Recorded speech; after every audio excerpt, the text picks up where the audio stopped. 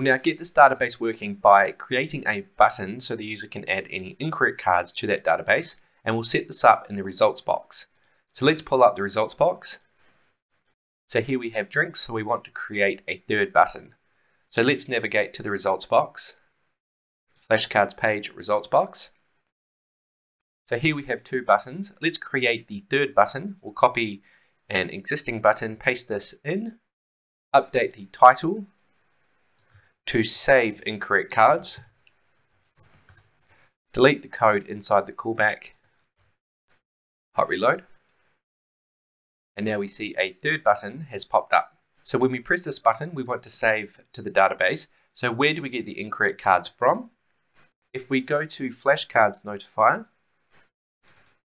we have a variable incorrect cards, which is a list of word. So we can just read from this list. Now, firstly, I'm just going to make sure incorrect cards is always empty before we populate it. So in reset, this is when we exit the flashcards page by calling dot clear. Now let's jump back to the results box. So we need to read that list. And we can do that already because at the top here we have a consumer which will access flashcards notifier. So therefore, firstly, we'll set up a loop to loop through the list. We can access that variable by using the notify variable, incorrect cards dot length so every time we loop through, we want to insert that word into the database table. So we'll access Database Manager. And now we can call insert word. The word we want to insert will be incorrect cards at the index of i. All right, cool. Now after we press the button, let's make it obvious the button has already been tapped by disabling the button.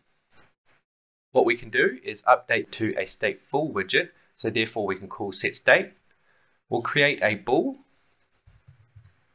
We'll name this have saved cards. Set this to false by default. Then if we click this button, this callback runs, have saved cards should turn true. And we need to then call set state. Now if this is true, we'll disable the button by in the on pressed have saved cards if that is true, we'll return null, otherwise we'll return this callback.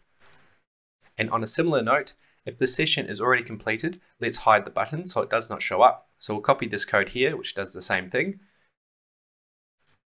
Paste this in, and now if we have no incorrect cards, we won't even see the button. Now let's also add the async and await keywords.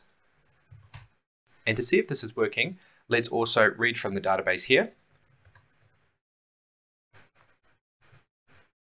So we'll just print out how many words have been added to the database table. All right, let's test this. Okay, so we have one word, which is printed out here, added to the table, and that button is disabled. Let's add another word. Let's add tiger. Cool, so we should have two words, yes. Let's add a third word.